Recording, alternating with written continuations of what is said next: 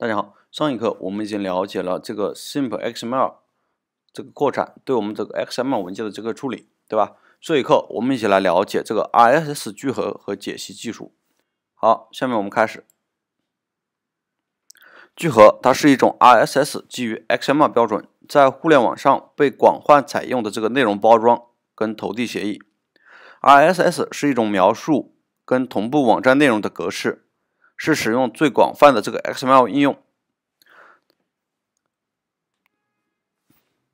，ISS 搭建了这个信息迅速传播的一个技术平台，使得每个人都成为潜在的信息提供者。我们只要发布一个 RSS 文件，那这个 ISS feed 中就包含的信息，它就能够被其他站点直接调用。而且由于这些数据都是基于标准的这个 XML 格式。所以也在其他终端或者服务中可以直接使用。它是一种描述跟同步网站内容的格式。其实说白了，这个 ISS 就是一个标准的这个 XML 文件，对吧？我们要做的就是如何生成这个 XML，以及我们如何解析这个 XML。稍微要注意点的就是 ISS 它有几个版本。它的主要版本是零点九一、一点零、二点零，啊，例如这个零点九一的版本跟一点零的版本完全不同，也就是它里面的这个 element 的元素可能稍微有些变化，包括有些元素上面的一些属性会有一些变化，所以我们只要注意这些，我们基本上就不会有太多的问题。来，我们看一个代码示例，一个现实中间的示例啊。看，这个网址它的后缀虽然是点 HTML，但是很明显它的作用也是一个 ISS，对吧？用来供别人订阅的，它的版本使用的是二点零。你看，首先它最外面的根节点是 ISS，你看我们看结束，对吧？然后里面的子元素就是一个 channel，它的这个 channel，它包括。它的 channel 包括了所有的这个 item 元素，对吧？channel 里面的几个子元素呢？一个是 title，一个是描述，然后一个是链接，一个是语言，还有发布日期，那最后的构建日期，对吧？再是有这个所产生的，还有这个 TTL，好像是个修改时间，然后再循环里面的每一个元素叫做 item。Item 下面就是它的文章了，对吧？所以我们可以看到，这个其实它是一直在变化的，对吧？我们要做的就是，首先这上面的是根据一个网站或者是一个博客的这个基本信息来生成的，然后下面就是我们这个博客上面的文章，对吧？一些文章信息，然后通过一个一个不一个 item，对吧？不停的循环。把所有新更新的 item 全部展示出来，那这就是一个 ISS 文件了，对吧？好，我们看了这个实际应用中的例子之后，来，我们看我们的代这个代码。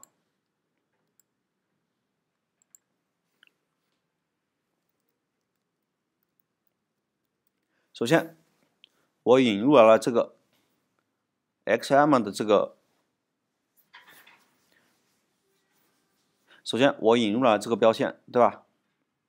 你看，我们把这个 XML 放在这个 SI STR 这个变量里面，然后通过我们的这个 new 这个 simple XML element 这个对象的这个方法，构建了这个对象。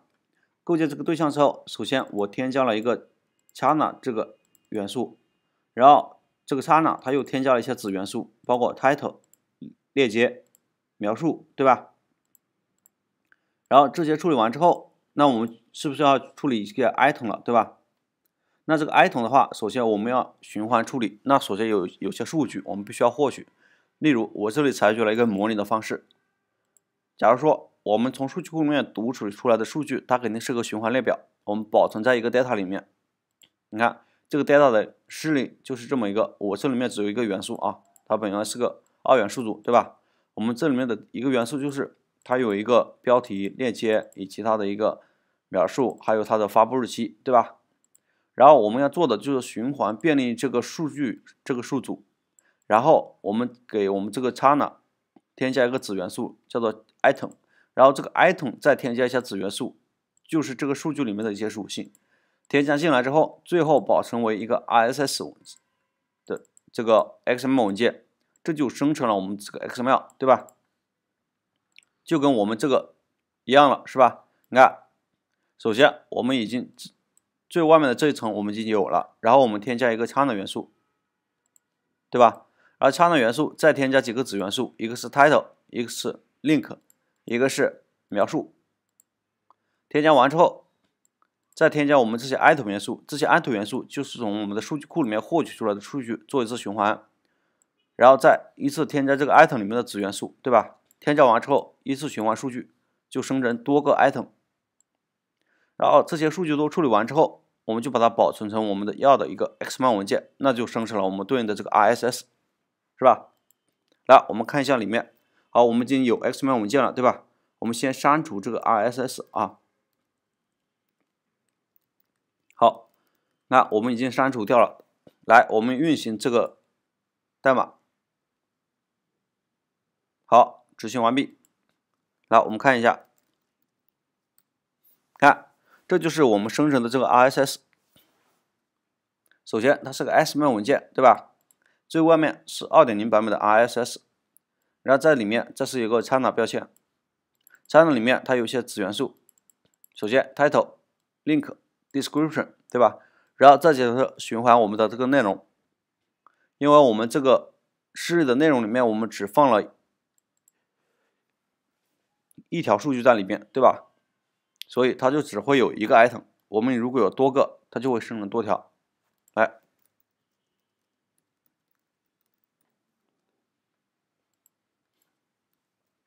假如我们这个数据源，对吧？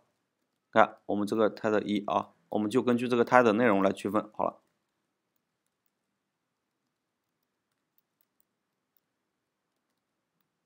好，我们用三个。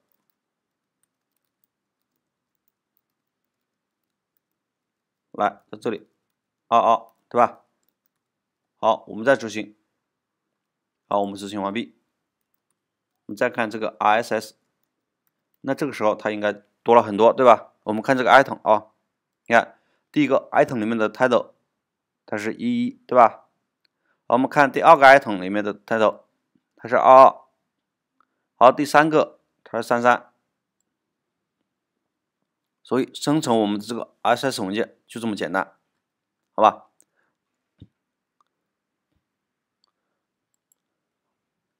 然后我们把这个代码放到我们这个博客里面，然后如果我们每次更新文章或者是更新数据的时候，我们就重新触发这个生成的代码，重新生成一个这么的 XML 文件，然后订阅方呢，他就及时获取到他的这个文件里面的数据了，对吧？我们看第二个 demo，这里呢就是我把这个 RSS 这个处理的封装成了一个类，这个类里面呢其实也很简单，我们看，首先类名是 RSS，然后它有个构造函数，对吧？然后这是有个 add item 的这么一个函数，然后这是构建 RSS 的这么一个函数，这是输出的一个函数，啊，保存文文件的一个函数，对吧？所以非常简单，来，我们依次看一下。首先，它有这么几个属性，RSS version 是它的版本号，对吧？然后这是 China 下面的 title、link 描述、语言、版权，还有这个管理员、发布日期、最后构建日期，还有构建的这个生成器，对吧？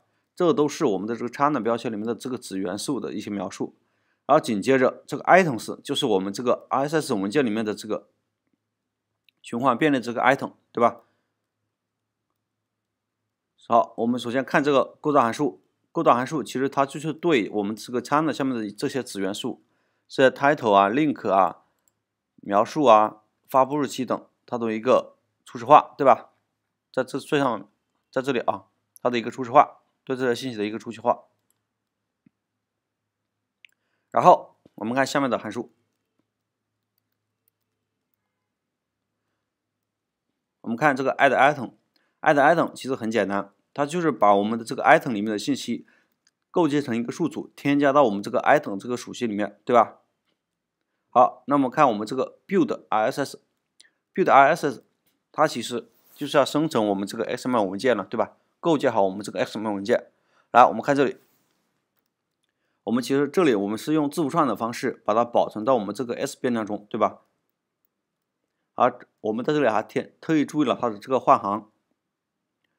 好，这是上面都是构建我们这个 China 的这个子元素。然后下面我们是循环便利我们这个 item 里面的内容，来构建我们这个 item，然后把构建好这个 item 这个字符串添加到我们这个整个的这个 RSS 字符串里面，对吧？好，整个内容添加完之后，那我们的内容，我们这个 content 就保存了我们整个的这个 RSS 这个文件的内容。然后我们的 output 呢，就是如果这个内容不为不为空的时候，我们就输出整个的这个。RSS 这个 XML 文件，但是我们第一个示例我们是生成这个 XML 文件，对吧？第二个示例我们这里就是把它整个内这个内容保存到了一个字符串里面，对吧？然后如果我们调用这个 output 的话，我们整个把这个输出，那输出的话，那它就是把一个，它就会浏览器就会解析我们这个 XML 文件了。好，我们看最后一个方法叫做 save as file，就是通过传递过来一个文件名的方式。把它这个内容写到这个文件里面进行保存，对吧？我们这个示例也很简单，就是把我们要生成的这个 RSS 点 XML 文件它的内容拼凑成一个字符串，保存在一个属性中，然后看它是调用保存文件还是输出，对吧？如果输出的话，我们就直接输出它的这个保存这个内容的这个属性；如果是要保存的话，我们就把它写入到一个文件里面，对吧？好了，这一课我们就到这里了。